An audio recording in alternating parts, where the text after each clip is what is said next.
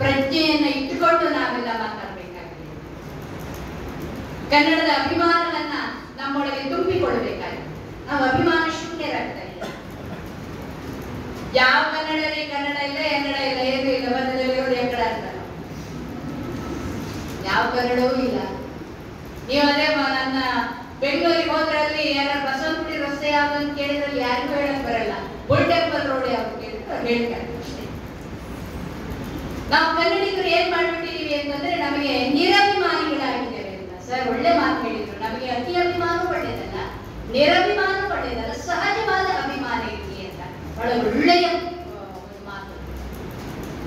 ನಾವು ನಿರಭಿಮಾನಿಗಳಾಗ್ಬಿಟ್ರೆ ಏನಾಗ್ತಿದೆ ಅಂತಂದ್ರೆ ನಮಗೆ ನನ್ನ ನಾಡು, ನುಡಿ, ದೇಶ, ಭಾಷೆ, ಸಂಸ್ಕೃತಿಯ ಬಗ್ಗೆ ಒಂದು ಕಾಳಜಿಲ್ಲ ಅಂತ ಒಂದು ಮಾತ್ರ ತಿಳ್ಕೊಳ್ಳಿ. ಕನ್ನಡ ಅಂದ್ರೆ ಕೇವಲ ಒಂದು ಭಾಷೆ ಅಲ್ಲ.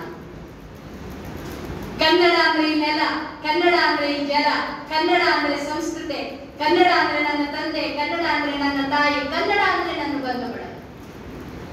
ಕನ್ನಡ ಇಲ್ಲದೆ ನಾನು ಉಸಿರಾಡಲಾರೆ. ಯಾಕಂದ್ರೆ ನನ್ನ ಅಂತರಂಗದಲ್ಲಿ, ಬಹಿರಂಗದಲ್ಲಿ, ನನ್ನ ರೂಪದಲ್ಲಿ, ನನ್ನ ಆ ಮಾತಿನಲ್ಲಿ, ನನ್ನ ಭಾವದಲ್ಲಿ ಕನ್ನಡ ಇದೆ ಕನ್ನಡಿಗರು ಇರುವುದು ಚಂದ.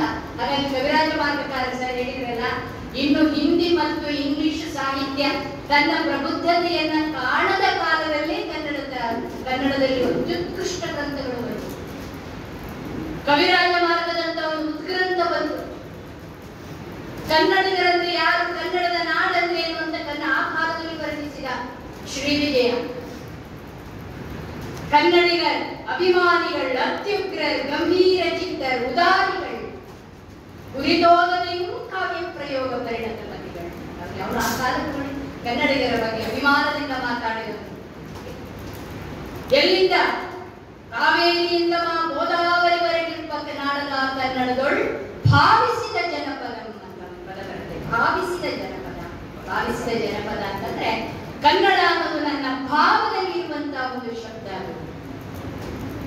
ಕನ್ನಡದ ಆ ಉಜ್ಜಾಲ ಸ್ಥಿತಿಯಲ್ಲಿ ನಾವು ಕನ್ನಡದ ಬಗ್ಗೆ ಅಭಿಮಾನದಿಂದ ಮಾತನಾಡಿದ ಗ್ರಂಥವನ್ನು ನೋಡಿದ್ರೆ ನಮ್ಗೆ ಇವತ್ತಿಗೂ ನಮ್ಗೊಂಥರ ಒಂದು ಬಗೆಯಲ್ಲಿ ನಾವು ಸಂತೋಷಗಳಾಗ್ಬೇಕು ಆ ವಿಷಯ.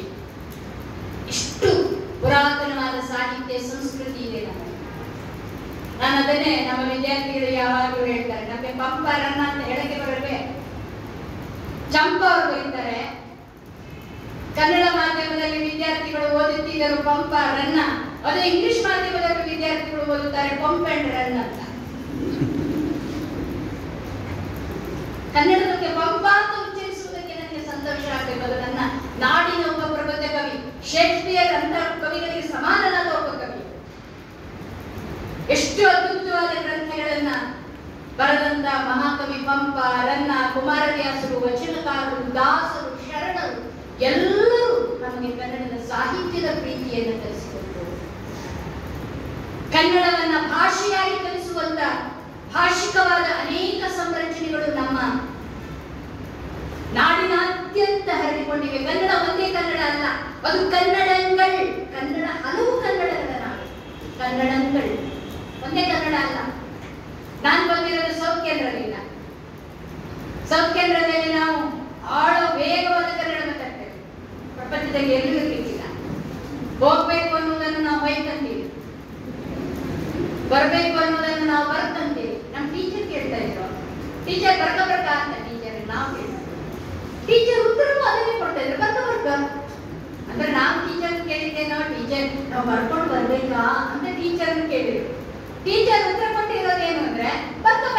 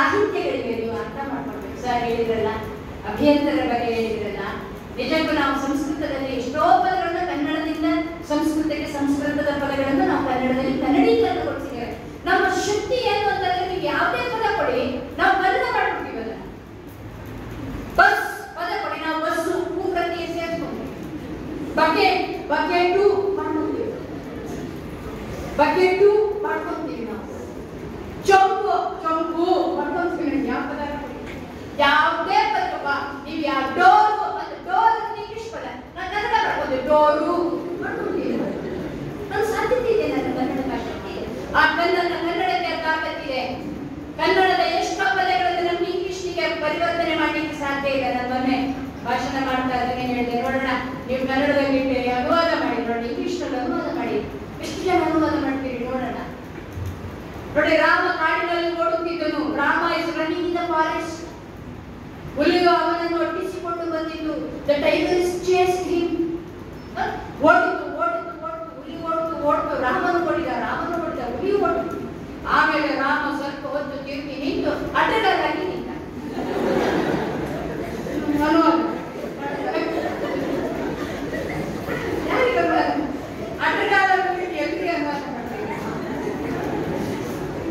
ನೀವು ರಾಗಿ ಬಾಲ್ ಅಂತ ಹೇಳ್ಬೋದು. ರಾಗಿ ಮುದ್ದೆ?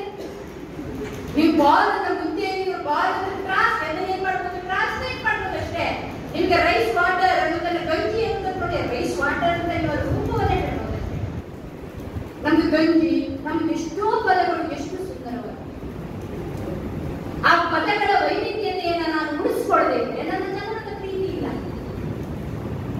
ನಿಮ್ಮೆಲ್ಲ ವಿದ್ಯಾರ್ಥಿಗಳಿದ್ದೇವೆ ನಿಮ್ಗಾಗಿ ಒಂದು ಘಟನೆಗಳಿವೆ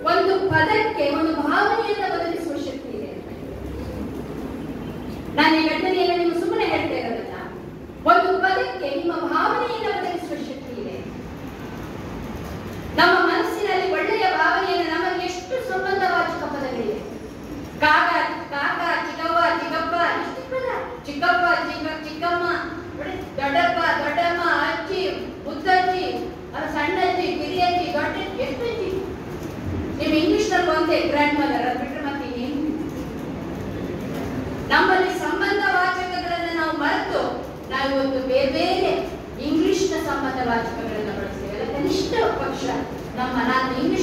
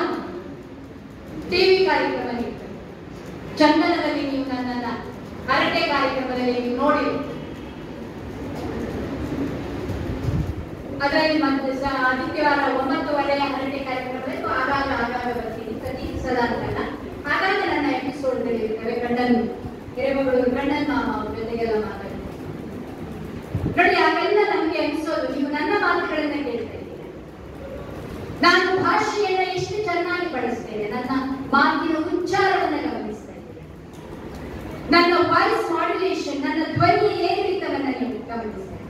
ಆ ಭಾಷೆಯನ್ನ ಮಾತಾಡುವುದರಲ್ಲಿ ಎಷ್ಟು ಸೊಗಸುಗಾರಿಕೆ ಎಷ್ಟು ಸುಂದರವಾಗಿದೆ.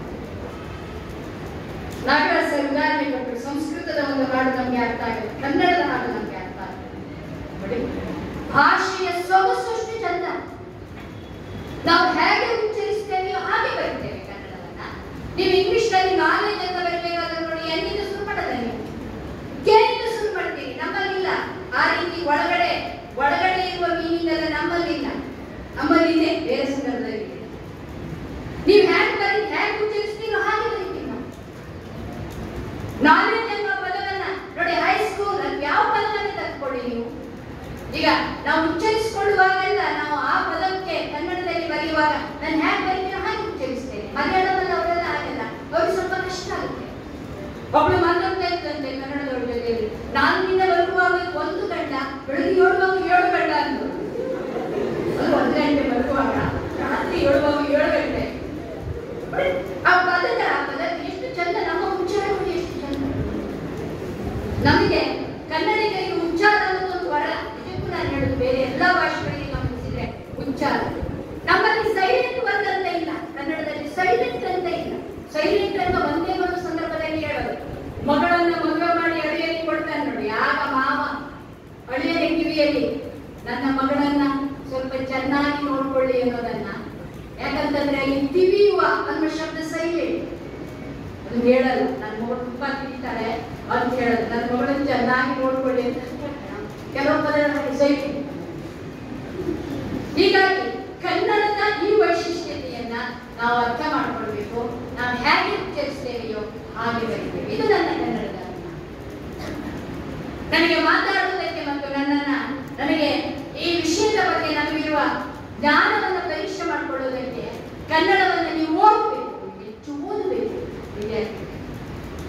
ಇವೆಲ್ಲ ಇನ್ನು ತುಂಬಾ ಚೆನ್ನಾಗಿ ಕವಿತೆ ಬರ್ತವಳು ಇಷ್ಟು ನನಗೂ ಒಬ್ಬ ವಿದ್ಯಾರ್ಥಿ ಕನ್ನಡ ಇಂಗ್ಲಿಷ್ನಲ್ಲಿ ಬಗ್ಗೆ ವಿದ್ಯಾರ್ಥಿಗಳು ತುಂಬಾ ಪ್ರತಿಭಾವಂತರಿದ್ದೀರಿ ನಿಮ್ಮನ್ನು ಕೂಡ ನೀವು ಕವಿ ಆಗ್ಬೋದು, ದೊಡ್ಡ ವಿಷಯವೇ ಅಲ್ಲ. ಕವಿ ಆಗ್ಬೇಕಾದ್ರೆ ಪದಗಳ ಜೊತೆಯಲ್ಲಿ ಆಟ ಆಡ್ಬೇಕು. ಕನ್ನಡದಲ್ಲಿ ಎಷ್ಟು ಪದಗಳಿವೆ? ಚೆನ್ನಾಗಿ ಅದನ್ನು ಜೋಡಿಸಲಿಕ್ಕೆ ಬಂದ್ರೆ ನೀವು ಕವಿಗಳಾಗ್ತೀರಾ? ಕವಿ ಆಗುವುದಕ್ಕೆ ನಿಮ್ಗೆ ಯಾರಿಗಾದ್ರೂ ಸಾಹಿತ್ಯದಲ್ಲಿ ಆಸಕ್ತಿ ಇದ್ರೆ ಖಂಡಿತವಾಗ್ಲೂ ನನ್ನ ಬನ್ನಿ. ನಾನು ನಿಮ್ಮನ್ನ ಕವಿ ಆಗಿರ್ತೀನಿ ಅಥವಾ ಬರಹಗಾರ್ತಿಯ ಬರಹಗಾರ ಆಗಿರ್ತೀನಿ ಯಾಕಂತಂದ್ರೆ ತುಂಬಾ ಸುಲಭ ನಾನು ಚೂರು ಪರಿಶ್ರಮ ಹಾಕಿದ್ದೀನಿ ಒಳ್ಳೆ ಕವಿತೆ. ನಮ್ಮ ವಿದ್ಯಾರ್ಥಿಗಳು ಎಷ್ಟೆಷ್ಟು ಪ್ರತಿಭಾವಂತರಿದ್ದಾರೆ ಅಂದ್ರೆ ಕನ್ನಡ ಒಬ್ಬ ಆಗ ವಿಜ್ಞಾನ ಸ್ವಾಮಿ ಗಲಾಟೆ ಆಗ್ತಿದ್ವಿ ಒಬ್ಬ ವಿದ್ಯಾರ್ಥಿ ಕರ್ಕೊಂಡು ಬಂದವರು ಕವಿಗೆ ಎಷ್ಟು ಚೆನ್ನಾಗಿತ್ತು ಅಂದ್ರೆ, ನಾವು ಸುಮಾರು ಗಂಗಾದ್ರಿ ಆ ಕವಿತೆ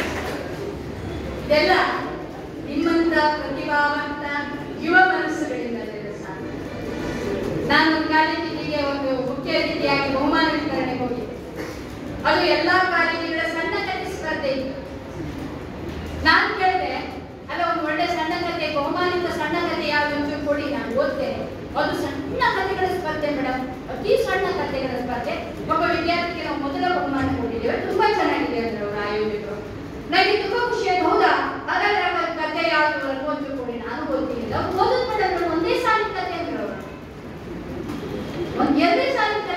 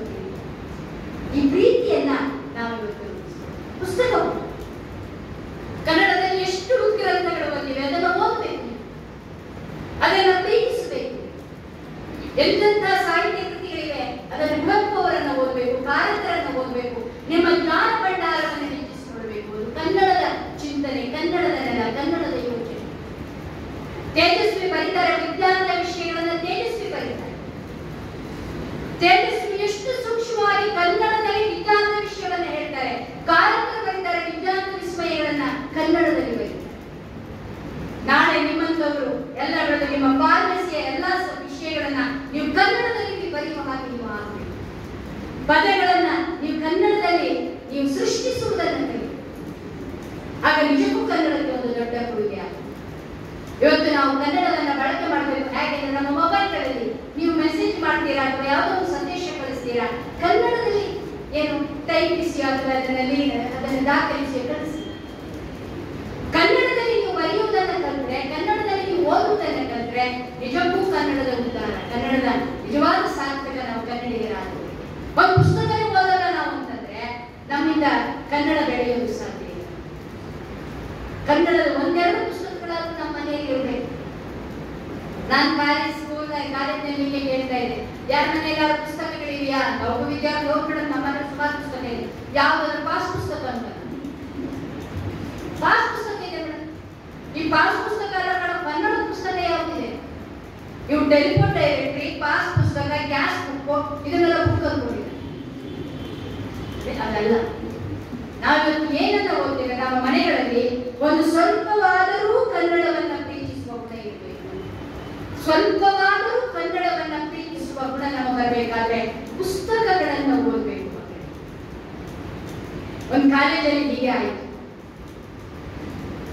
ಒಬ್ಬಳು ಒಳ್ಳೆಯ ವಿದ್ಯಾರ್ಥಿನಿ, ಬಹಳ ಸುಂದರಿ, ತುಂಬಾ ಚೆನ್ನಾಗಿ ಓದ್ತಾ ಇರ್ತಾಳೆ, ತುಂಬಾ ಬ್ರಿಲಿಯಂಟ್ ಅವಳು. ತುಂಬಾ ಪ್ರತಿಭಾ ಅವಳನ್ನ ಪ್ರೀತಿಸ್ಬೇಕು ಅಂತ ಒಬ್ಬ ಎವರೇಜ್ ಅವನಿಗೆ ತುಂಬಾ ಓದೋನೇನಲ್ಲ ಹುಡುಗಿಗೋಸ್ಕರ ನಮ್ಮ ಹುಡುಗರು ಏನ್ ಕರ್ಕೊಂಡ್ತಾರೆ ಬೇರೆ ವಿಷಯ ಅವಳ ಮುಂದೆ ತುಂಬಾ ನಟಿಸ್ಕೊಂಡು ಅವಳು ನಾನು ಇಂಟೆಲಿಜೆಂಟ್ ಅನ್ನೋದನ್ನ ತೋರಿಸ್ಕೊಳ್ಳೋ ನಾವು ಯಾವಾಗ ಒಂದ್ ದಿವಸ ಇನ್ನೇನ್ ಕಾಲೇಜ್ ಮುಗಿದು ಡಿಗ್ರಿ ಮುಗಿದು ಎಲ್ಲ ಕಾಲೇಜಿಗೆ ಎಕ್ಸಿಟ್ ಆಗ್ಬೇಕು ಅನ್ನುವಾಗ ಅನ್ನುವ ಹೊತ್ತಿಗೆ ಅವನು ಒಂದೇನು ಯೋಚನೆ ಮಾಡ್ತಾನೆ. ಹೇಗಾದ್ರೆ ಹುಡುಗಿ ಇಂಪ್ರೆಸ್ ಮಾಡ್ಬೇಕಲ್ಲ ಪ್ರೀತಿಸ್ಬೇಕು. ನನ್ನ ಪ್ರೀತಿಯನ್ನು ಅವನಿಗೆ ನಿವೇದನೆ ಮಾಡ್ಬೇಕು. ಯಾಕೆ ಮಾಡೋದು ಅಂತ ಹೇಳಿ ಅವಳು ಓದ್ತಾಳೆ ಅಂತ ಗೊತ್ತಾದ ಮೇಲೆ ಒಂದು ಒಳ್ಳೆ ಪುಸ್ತಕ ಖರೀದಿ ಮಾಡಿ ಅದರೊಳಗೆ ಒಂದು ಸುಂದರವಾದ ಪ್ರೇಮ ಪತ್ರ ಬರೆದು ಇಟ್ಟು ಅವಳು ಕೈ ಕೊಡ್ತಾನೆ ಅದರಲ್ಲಿ ಏನ್ ಬರ್ತಿದ್ದಾನೆ ಅಂದ್ರೆ ನಾನು ನೀನು ತುಂಬಾ ಪ್ರೀತಿಸ್ತೀನಿ. ನಾಳೆ ನೀನು ನಿಜಕ್ಕೂ ನನ್ನನ್ನು ಪ್ರೀತಿಸ್ತೀಯ ಅಂತ ಆದ್ರೆ ನಾಳೆ ನೀನು ಕಾಲೇಜಿಗೆ ಬರುವಾಗ ಹಸಿರು ಬಣ್ಣದ ಚೂಡಿದಾರ್ ಮಾಡ್ಕೊಂಡು ಬಾ. ಅದರ ಅರ್ಥ ಏನು ಅಂದ್ರೆ ನೀನನ್ನು ಪ್ರೀತಿಸಿದೆ ಅಂತ ಸಿಗ್ನಲ್ ಸಂಕೇತ ಅಂತ ಬೆಳಿಗ್ಗೆ ಬೆಳಿಗ್ಗೆ ಆಗುತ್ತೆ ಕಾಯ್ತಾನೆ ಕಾಯ್ತಾನೆ, ಹುಡುಗಿ ಬರ್ತಾಳೆ. ಆ ಕಾಗದ ಓದ್ತಾಳೆ. ಹಸಿರು ಬಣ್ಣದ ಚೂಡಿದಾರ್ ಹಾಕೊಂಡು ಬರ್ತಾಳೆ ಬರ್ತಾಳೆ ಬರ್ತಾಳೆ ಅಂತ ಕಾಯ್ತಾನೆ. ಇವನ ಕಳಮಳ ಇವನ ಸಂಕಟ. ಅವನ ಪ್ಯಾಟ್ ಅವಳ ಒಂದು ಎಲ್ಲೋ ಬಣ್ಣ ಎಲ್ಲೋ ಕಲರ್ ಚೂಡಿದಾರ್ ಹಾಕೊಂಡು love failure sad love story ತುಂಬಾ ಬೇಜಾರಾಗುತ್ತೆ ತಂತು ತಂದು ನಗ್ತ ನಗ್ತ ಅವನ ಕೈ ಕೊಟ್ಟು ಬಾ ಅಂತ ಹೇಳ್ಬೋದು ಇವನಿಗೆ ತುಂಬಾ ಬೇಸರ ಛೇ ಇಂಥದ್ದು ಮಾಡ್ಬೇಕಿಂತ ನಾನು ಇವಳನ್ನ ಪ್ರೀತಿ ಮಾಡ್ಬೇಕು ಇವಳ ಸುಂದರಿ ಇವಳ ಸುಂದರ ಬೇರೆಯವ್ರು ಸಿಗಲ್ವಾ? ಹಂಗೆ, ಹಿಂಗೆ ಅಂತ ಬೈಕೊಂಡು ಸೀದಾ ಹೋದ. ಆಮೇಲೆ ಇನ್ನೊಂದು ಜಾಬ್ ಸಿಕ್ತು. ಅವ್ರ ಪಾತ್ರೆ ಸೇವಿ ಮಾಡಿ ಎಂ ಎ ಮಾಡ್ಕೊಂಡ ಪಿ ಎಚ್ ಡಿ ಮಾಡ್ಕೊಂಡ ಅದ್ರ ಒಳ್ಳೆ ಜಾಬ್ ಸಿಕ್ತು, ಒಳ್ಳೆ ಹುಡುಗಿ ಮದುವೆ. ಸಂಸಾರ ಗಂಡ ಹೆಂಡತಿ ಹೋಗಿ ಅವ್ನು ಬೇರೆ. ಮತ್ತೆ ಇವಳು ಒಂದಿನ ನೀವು ಸಂಸಾರ ಮಾಡಿ ಬೇರೆ ಗಂಡ ಹೆಂಡತಿ ಸಂಸಾರ ಮಾಡಿ ಮದುವೆ ಮಾಡಿ ಕಳಿಸಿ ಒಂದೆರಡು ವರ್ಷದ ಮೇಲೆ ಅವ್ರು ಬೇರೆ ಮನೆ ಮಾಡ್ಕೊಳ್ತಾರೆ ಮಾಡ್ಕೊಳ್ಳುವಾಗ ಒಂದ್ ದಿವಸ ಹೆಂಡತಿ ಹೇಳ್ತಾರೆ ರೀ, ಮನೆಯಲ್ಲಿ ಧೂಳೆಲ್ಲ ಹೊಡಿರಿ ಅಂತ ಹೇಳ್ದಕ್ಕೆ ಇವ್ರು ಒಂದಿನ ಸಂಡೆ ಕೂತ್ಕೊಂಡು ಎಲ್ಲ ಧೂಳು ಆ ಪುಸ್ತಕ ಕೊಟ್ಟಿದ್ದಾರೆ ನೋಡಿ. ಆ ಪುಸ್ತಕ ಟಪ್ ಅಂತ ಕೇಳಬೇಕು ಇವನಿಗೆ ಸಿಟ್ಟು ಬಂದ ಅವಳಿಗೆ ಅವಳು ನೆನಪು ಹಳೆಯ ನೆನಪು? ಪ್ರೀತಿ ಅನ್ನೋದು ಎಷ್ಟು ವಿರಹದ ನೆನಪು ಅಂತ ನೆನಪಿಟ್ಕೊಂಡು ಅವಳಿಗೆ ಅವಳೇ ಛೆ ಅಂತ ಹೇಳಿ ಒಂದ್ಸಲ ಸುಮ್ಮನೆ ತೆಗೆದು ನೋಡುವಾಗ ಅವಳು ಬರೆದ ಸುಂದರವಾದ ಪ್ರೇಮ ಪತ್ರದೊಳಗೆ. ಅವಳು ಬರೆದಿದ್ದು ಪ್ರಿಯಾ ನಾನು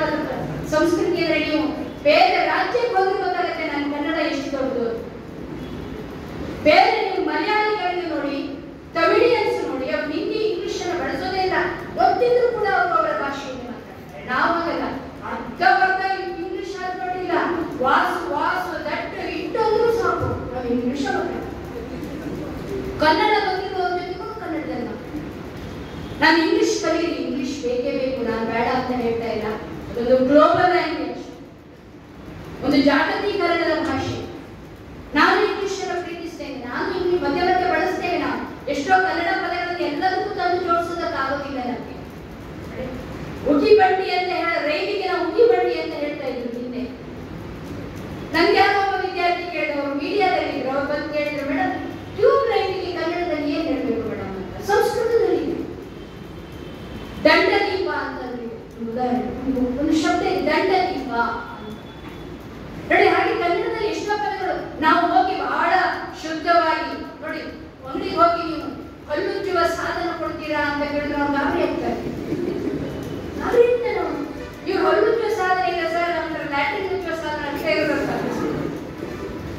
ಬ್ರಷ್ ಕೊಡಿ ಅಥವಾ ಹಲ್ಲುಜ್ಜುವ ಪೇಯ ಕೊಡಿ ಅಂತ ಹೇಳಪ್ಪ ಅಂದ್ರೆ ಪೇಸ್ಟ್ ಕೊಡಿ ಅಂತ ಹೇಳಕ್ಕಾಗಲ್ಲ.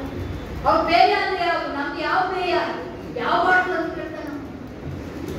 ನೋಡಿ, ಹಾಗಾಗಿ ನಾನು ಮುಲಾಮು ಕೊಡಿ ಹಲ್ಲುಜ್ಜುವ ಮುಲಾಮ್ ಕೊಡಿ ಹಲ್ಲುಜ್ಜುವ ಪೇಯ ಹೇಳಕ್ಕಾಗಲ್ಲ ಹೋಗಿ.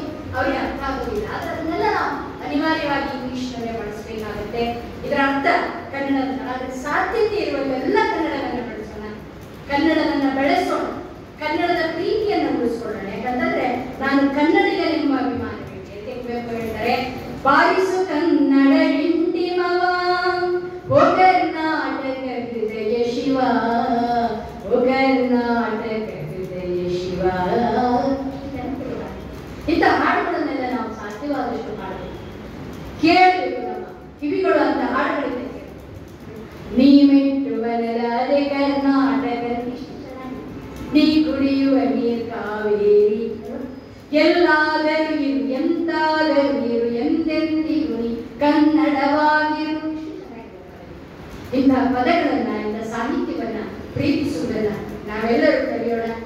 ಇಂಥ ಕನ್ನಡದ ಮನಸ್ಸುಗಳನ್ನು ಬೆಳೆಸೋಣ ನಾವು ಕನ್ನಡದ ಮನಸ್ಸುಗಳು ನಮ್ಮ ಜೊತೆಗಿದೆ ಇದ್ರೆ ನಮಗೆ ಖಂಡಿತ ಕನ್ನಡದ ಪರಿಚಯ ಆಗೋದಕ್ಕೆ ಸಾಧ್ಯ ಇಲ್ಲ.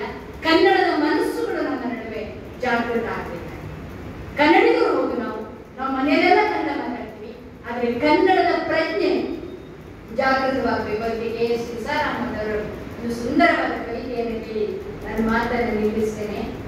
ಅವ್ರು ಹೇಳಿ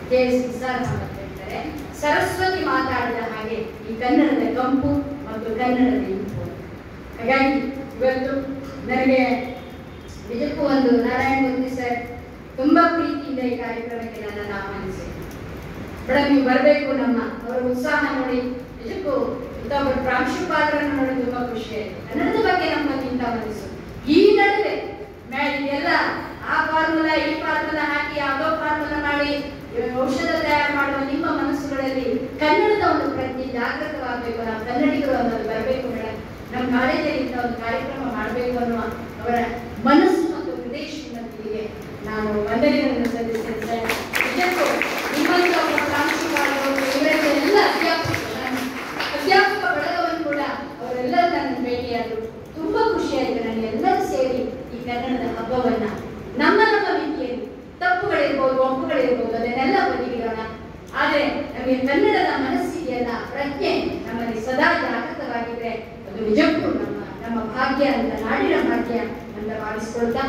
ನನಗೆ ಈ ಅವಕಾಶವನ್ನು ಕೊಟ್ಟರೆ ನಿಮಗೆಲ್ಲರಿಗೂ ವಂದಿಸಿ. ನನ್ನ ಮಾತು ಮುಗಿಸ್ತೇನೆ